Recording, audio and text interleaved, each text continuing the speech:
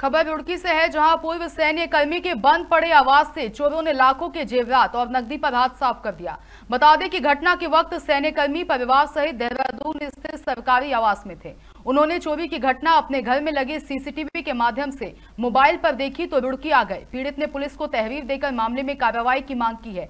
दरअसल रुड़की गंगनहर कोतवाली क्षेत्र के सुभाष नगर निवासी सुनील भदोड़ा ने बताया कि वो एक्स आर्मी मैन है, जो रिटायर होने के बाद मिलिट्री इंजीनियरिंग सर्विस देहरादून में कार्यरत है। देहरादून अपने सरकारी आवास पर थे, तभी दोपहर करीब डेढ़ बजे उन्होंने अपने मोबाइल पर देखा कि उनके घर में कुछ अज्ञात व्यक्ति गेट बंद कर रहे हैं। इसकी सूचना उन्होंने तुरंत पुलिस को दी। बता दें कि घर से चोर तीस हज़ार की नकदी और लाखों के जेवरात लेकर फरार हो गए। वहीं सीसीटीवी फुटेज के आधार पर पुलिस जाँच में जुटी है। हम जानकारी के साथ रुड़की से संवाददाता सलमान मलिक हमारे साथ जुड़ गए हैं। सलमान जिस तरीके से तस्वीरें सामने आई हैं कि पूर्व सैनिक के घर पर यह चोरी की वारदात को अंजाम दिया गया और करीब तीस हज़ार नकदी और लाखों के जेवरात लेकर चोर फरार हो गए। ये पूरा मामला क्या है, इसको लेकर एक बार पूरी जानकारी। बिल्कुल आपको बता दूँ कि रुड़की गंगा कोतवाली क्षेत्र का एक पूरा मामला है, जहाँ पर सुभाष नगर में दो अज्ञात चोर एक घर के अंदर प्रवेश करते हैं जिसके बाद जो सैन्य कर्मी है जो पूर्व सैनिक कर्मी है वो अपने दफ्तर में देहरादून में मौजूद थे जिसके बाद उन्होंने मोबाइल अचानक से उन्होंने मोबाइल में जो है सीसीटीवी कैमरे की लाइव फुटेज देखी तो अचानक ही जो वहाँ पर दो अज्ञात लोग गेट फांदते हुए दिखाई दिए उसके बाद उन्होंने स्थानीय पुलिस को सूचना दी जिसके बाद मौके पर पहुँची पुलिस ने पूरे मामले की जाँच की और वहाँ पर देखा गया कि जो सैन्य कर्मी पूर्व सैन्य कर्मी का परिवार है वो पहुँचा।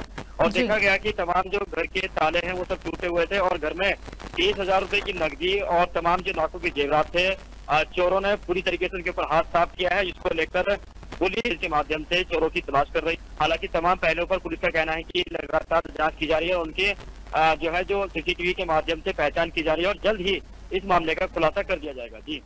वहीं सलमान अगर बात करें तो आसपास के जो लोग हैं उनकी किस तरीके की प्रतिक्रियाएँ सामने आ रही हैं चोरी की वारदात को लेकर? देखिए आपको बता दूँ कि दोपहर का समय था और उनका तमाम का ये कहना है कि तमाम जो आस पड़ोस के लोग थे उनका ये कहना है कि सब अपने घरों के अंदर मौजूद थे। तो अचानक ही जो काफ़ी चोर थे तो उन्होंने इसी चीज़ का मौका जो मौका उठाकर वहाँ पर सुनसान जगह का मौका का फ़ायदा उठाकर वो अंदर घुसे और जिसके बाद उन्होंने तफ्तीश के साथ वहाँ पर चोरी की घटना को अंजाम दिया और वही जो है पुलिस का ये भी कहना है कि जो ये चोर हैं ये बड़े ही शास्त्रीय किस्म के हैं, जिस तरीके से सीसीटीवी फुटेज के माध्यम से देखा गया है कि पहले वहाँ पर रेकी की जाती है, आसपास देखा जाता है कि कोई वहाँ पर मौजूद तो नहीं है, प्रवेश करते हैं और जिसके बाद तमाम ताले तोड़े गए और तिजोरियों से लोकल भी तोड़े गए, जिसके बाद तीस हज़ार रुपए की जो नकदी है जो सामने बात नज़र आ रही है। उनका साफ़ तौर से कहना है कि तीस हज़ार रुपए की नकदी थी जो उनकी चोरी हुई है और लाखों का जेवरात था जो चोरों ने यहाँ पर चोरी किया है। और हालाँकि तमाम जो पुलिस है, उनका जाँच की जा रही है। ये कहना है कि जल्द ही जो चोर हैं, वो उनकी हिरासत में जो है यहाँ पर लिए जाएँगे। जी। ठीक है, सलमान मलिक, आपका बहुत बहुत धन्यवाद हमारे साथ जुड़ने के लिए और तमाम अहम जानकारी हमारे साथ इस खबर पर साझा करने के लिए। जिस तरीके से आप देख सकते हैं कि रुड़की में बंद मकान में चोरों ने वारदात को अंजाम दिया, साथ ही आपको बता दें कि पूर्व सैनिक के घर से तीस हज़ार नकदी और लाखों के जेवरात लेकर चोर मौके से फरार हो गए।